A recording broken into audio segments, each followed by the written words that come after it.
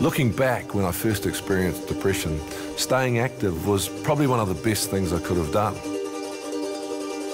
I didn't realise it at the time, but these days I know that if I don't work out at least three or four times a week, I just don't feel good.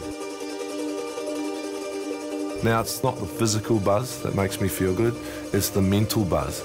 It's that little feeling of self reward or goodness that comes from moving around that helps me feel better mentally. At depression.org.nz, I'll take you through a program that will teach you that regular exercise is going to help you get through depression.